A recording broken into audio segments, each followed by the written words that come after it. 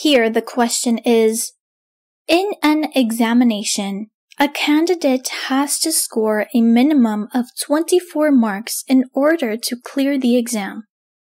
The maximum that he can score is 40 marks. Identify the valid equivalence values if the student clears the exam.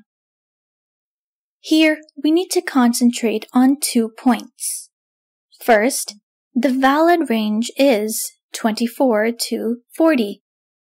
And we need to find the equivalence values from these options. Let's first draw the equivalence class diagram. As per the question, value in the range 24 and 40 is valid. Now let's have a look into the options. The first option is 22, 23, and 26, and we can place them here. In this option, 22 and 23 are in invalid range, and 26 is in valid range. Therefore, this option is not the answer.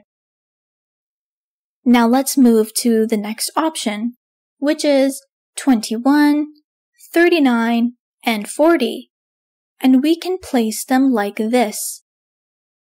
Here 21 is in invalid class. 39 and 40 are in valid range. That is why this is also not the answer. Next option is 29, 30, and 31. And we can place them here like this. And we can see that all the numbers are in the valid range. So, this is the correct answer. We can select options C as the answer.